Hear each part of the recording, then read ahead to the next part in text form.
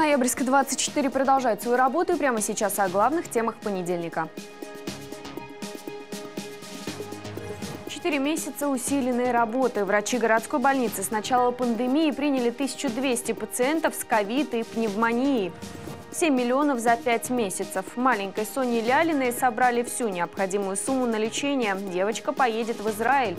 И трое сделали шаг. Школьники из Ноябрьска побывали в Увате и прыгнули с парашютом.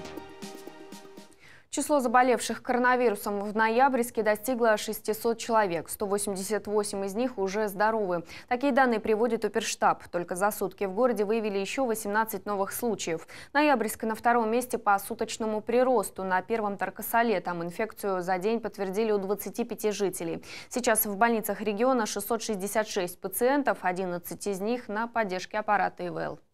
С начала пандемии больница Ноябрьска приняла более 1200 пациентов с диагнозом COVID-19 и внебольничная пневмония. Об этом Ноябрьска-24 сообщил главный врач медучреждения Олег Шалаев. 125 пациентов оказались в реанимации в очень тяжелом состоянии. Это и ямальцы, и вахтовики из Якутии, и жители других регионов страны. Из них 108 выздоровели. Двум десяткам пациентов, зараженных COVID, медики провели сложные операции на сердце и сосудах. Врачам удалось принять роды у 10 женщин, больных коронавирусом. Ни в одном случае новорожденные не заразились от мам. Маленькая жительница Ноябрьска, четырехлетняя Соня Лялина, готовится к поездке в Израиль. Сегодня утром благотворительный фонд «Алеша» объявил о завершении сборов на лечение девочки. Больше 7 миллионов рублей понадобится Соне на операцию и реабилитацию в клинике Ихилов. Там ей планируют удалить трахеостому. Несмотря на сложную эпидобстановку в мире, девочке разрешили въехать в Израиль. Там ей предстоит пробыть около четырех месяцев. Сразу после операции начнется длительная реабилитация. Еще в четверг семье не хватало почти полмиллиона миллиона до нужной суммы. За четыре дня удалось собрать эти деньги. Мы с клиники, там, где будет проводиться эта все операция, это Ихилов в Израиле, мы заключаем с ними контракт, конвертируем и переводим всю сумму на счет клиники. И там уже ждут ребенка, делают все манипуляции, все операции. Клиника перед нами, перед родителями, перед нами как перед плательщиками. Они полностью отчитываются за выполненные манипуляции, и мы уже надеемся, что у Сонечки будет все хорошо. Сейчас помощь в сборе денег нужна Зиле Шафагатовой. Терапевт из Вангапуровского пытается победить лейкоз. Диагноз 36-летней женщине, маме двоих малышей, поставили в декабре прошлого года. Позади уже 4 курса химиотерапии. Сейчас Зиле находится в Москве в Центре гематологии. Врачи настаивают на скорейшей трансплантации костного мозга. На саму операцию потребуется 334 тысячи рублей. Плюс средства будут необходимы для оплаты проезда, проживания и сдачи необходимых анализов донорам. Двоих подходящих нашли в российском регистре. Сбор денег идет на сайте Фонда борьбы с лейкемией. На данный момент там уже есть 184 тысячи. Деньги переводит и супругу. Номер телефона мужа Зили Дениса Лисенкова на экране. Он привязан к картам Сбербанка и Газпромбанка. Супруг женщины сейчас тоже в Москве. Он рассказал, что помимо проблем со здоровьем, Зиле тяжело дается разлука с сыновьями. Их она не видела с начала болезни на деток, она просто плачет. Вот. Бабушка, как бы, ее мама скидывает ей видео. Сейчас вот она находится на поддерживающей терапии, и вот все-таки стараемся сейчас вот дождаться донора. Громадное просто спасибо людям, то, что даже вот позвонили, спрашивали, э, все сообщения пишут, смс всем, кому мог, я отвечал, э, как бы очень благодарил. Превышение скорости, опасный обгон, усталость и сон за рулем – вот основные причины, по которым на трассах вблизи Ноябрьска случаются аварии. Пытаясь успеть в пункт назначения, некоторые водители так и не возвращаются домой. Как контролируют состояние автолюбителей сотрудники ГИБДД и что показывают такие проверки, расскажет Екатерина Брудская. Устал, потерял внимательность, уснул, выехал на встречку. Цепочка событий проста. Последствия вплоть до трагических. Из дальних поездок домой возвращаются не все. Одни получают травмы и попадают в больницу, другие теряют свободу. Для некоторых здесь заканчивается жизнь. Со смертельными исходами за весь прошлый год имело место только одно ДТП. В текущем году таких дорожно-транспортных происшествий на трассе произошло четыре. Можно сказать, что каждое третье ДТП, произошедшее на трассе, унесло человеческую жизнь. Только в июле три аварии на трассе Сургут-Салихард закончились смертельным исходом. Две из них случились с большегрузами. Предотвратить трагедии стараются сотрудники ДПС. Летом на трассах больше патрулей. Работают круглосуточно, пресекают нарушения и проверяют, отдыхают ли водители в пути. Мной а, при заступлении э, на службу, это было два дня назад, э, был выявлен один факт такой. То есть за смену за 12 часов был один выявлен факт. А за неделю было выявлено три три. Три факта с нарушением именно режима труда и отдыха водителями. Отдыхал ли водитель в дороге, покажет тахограф. За секунды можно получить распечатку всего пути. Здесь и остановки, и скорость. Отдыхаем как? На светофорах обычно стоим минут 15, бывает сейчас дороги делают. Ну, это считать, что уже отдых 15-20 минут. Водитель должен отдохнуть. Это морально устает. Потому что вы один, а, например, я на автобусе работаю, да, тут за мной, за спиной сидит 50 человек. Ну, за каждым надо следить, кто ремень надел, кто массу одел. Короче, ну, морально устаете. Инспекторы говорят, режим отдыха чаще игнорируют водители из других регионов. Тех, кто его нарушил, штрафуют. Административное наказание получают как водители, так и их руководители. А если в машине нет тахографа, накажут еще и юридическое лицо.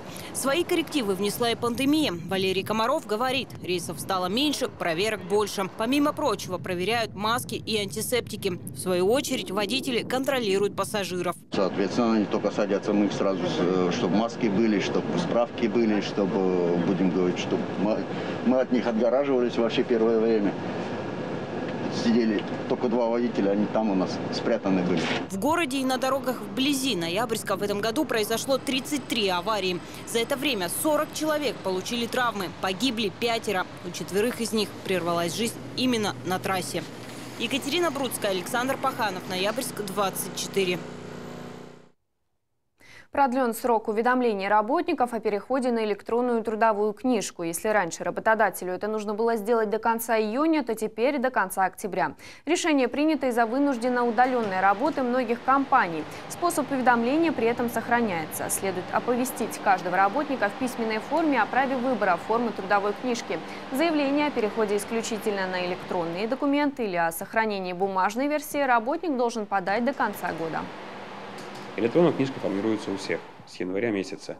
Это обязательно. Если работника определяется в сторону только электронного вида, вносится запись в трудовую книжку, трудовая книжка выдается на руки работнику. И уже работодатель за ее ведение и сохранность ответственность не несет. То есть работникам, всем, кто определился, выбрал вариант электронной книжки, им нужно сохранять книжку, потому что записи до 2020 года, они в электронный формат переводиться не будут. То есть единственный документ, подтверждающий периоды работы, это будет трудовая книжка. В Рощино провели дезинфекцию. Работу в эти выходные выполнили сотрудники МЧС России. Цель – минимизировать риски распространения коронавируса. Обработку аэропорта проводили с помощью ранцевых установок пожаротушения безопасными для человека хлорсодержащими веществами. Препарат распылили на все поверхности во всех помещениях, где бывают пассажиры. Это уже не первая обработка воздушной гавани. Дезинфекцию проводят и на железнодорожных вокзалах Тюмени, Лутровска, Ишима и завода.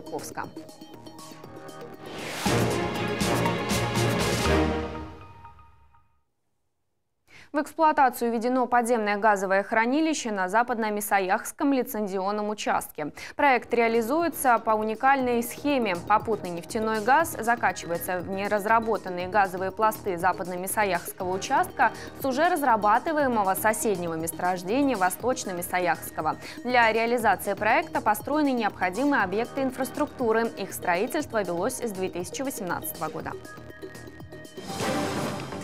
Уровень эффективного использования ПНГ в компании составляет 95%. Благодаря применению инновационных подходов к утилизации попутного газа мы достигнем целевого показателя и на Мисаяхской группе месторождений.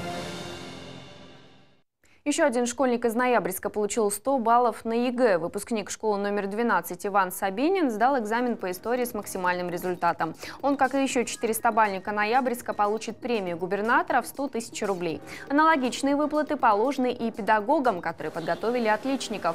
В Департаменте образования оценили результаты ЕГЭ по русскому языку и математике. Несмотря на дистанционное окончание учебного года и такую же подготовку к испытаниям, старшеклассники написали экзамены лучше, чем в прошлом году году. На 8% увеличилась доля высокобальных работ, также потянулся средний балл. Ноябрьские школьники могут принять участие во всероссийском проекте «Билеты в будущее». Он ориентирован на профориентацию учащихся 6-11 классов. Записаться на онлайн-пробу можно на платформе проекта. Там же можно пройти тест, познакомиться с новыми профессиями, узнать расписание мероприятий. В 2020 году на Ямале практические занятия пройдут на восьми площадках. Это образовательные учреждения Салихарда, Муравленко, Губкинского, Надыма, Таркасалена, Уренгоя и Ноябрьска. Очные мероприятия будут проводиться по 17 15 компетенциям. Среди них лабораторно-медицинский анализ, электромонтаж, сетевое системное администрирование и поварское дело.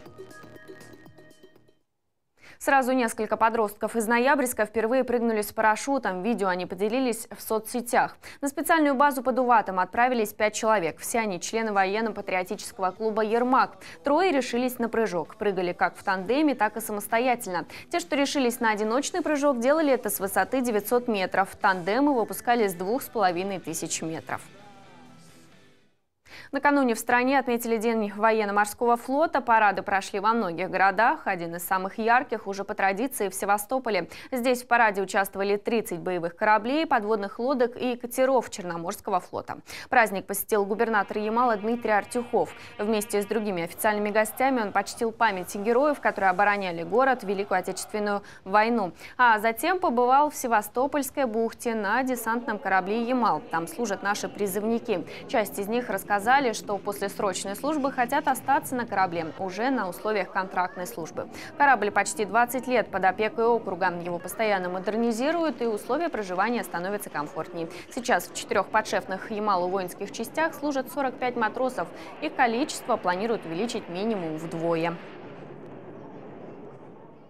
Крупнейший забег по горам Ямала перенесли на год из-за пандемии. Ультрамарафон «Трансурал» должен был пройти в середине августа. Планировались забеги по долине рек Сопь и Янгаю, по перевалам, по подножию горы Динозавр, Нефритовому ущелью и леднику Романтиков. Заявки на участие подали 60 человек. Большая часть из них ямальцы, но есть и спортсмены из Москвы, Санкт-Петербурга, Сыктывкара и других городов России. Билеты авиакомпании «Ямал» они смогут вернуть и без потерь. Оплаченные Свободные слоты автоматически переносят на август следующего года. Также свою заявку можно отдать другому, либо посетить другие забеги по Уралу за счет уже оплаченного. Есть еще несколько вариантов.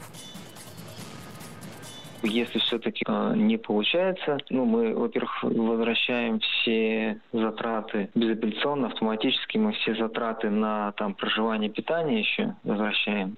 И как бы еще одну опцию мы сделали, это возврат 50% участия сноса 50% да, деньгами. В округе запустили интерактивную площадку, на которой отмечены предприятия агропромышленного комплекса. Все они обозначены специальными значками – рыбная отрасль, оленеводство, заготовка мяса и не только. Расположение, контакты, словом, вся информация, включая то, где купить товар, теперь доступна в один клик. Карту будут дополнять и дорабатывать. Это своеобразная презентационная карта предприятия агропромышленного комплекса «Янау».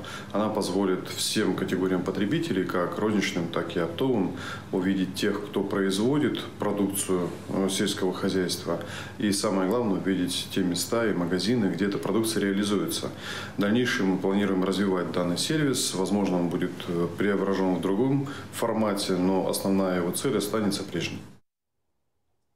На Ямале появился первый офис Уральского банка реконструкции и развития. Открылся он в ноябрьске. Здесь можно получить консультации специалистов по любому финансовому вопросу, открыть вклад, оформить кредиты и не только. Подробности далее.